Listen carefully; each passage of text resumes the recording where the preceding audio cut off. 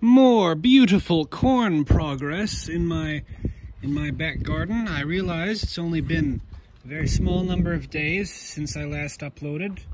Uh, the, the reason for that is because the, the video that I last uploaded was filmed like 13 days before, so so it wasn't like a true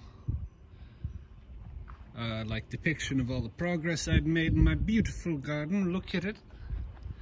I love it, don't you? The, the ears are beginning to grow in, you know, and uh, they're beginning to turn brown, which means the pollen is getting to them. Uh, though it, it doesn't hurt to to help them along. As a matter of fact, matter of fact, helping pollinate the corn is, is the most reliable, reliable way to make sure that you get many beautiful fat ears in the summer, uh, or not the summer. It's already summer. Uh, in the uh, in the autumn. Well, and here we have one. It's this was the first ear that ever sprung up. The first little silks, and they're already starting to turn brown and fall out, which is a very good sign. Uh, oh my goodness!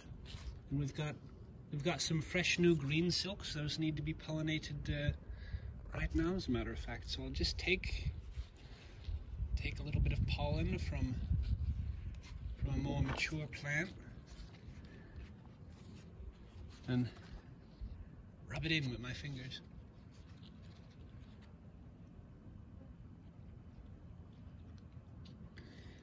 Uh, something that you can do is like if, if you really know what you're doing you can take like a little brush to collect the pollen and then spread it. But, but I don't have one of those so I'm just using my fingers. Uh, yeah so you know there's the corn report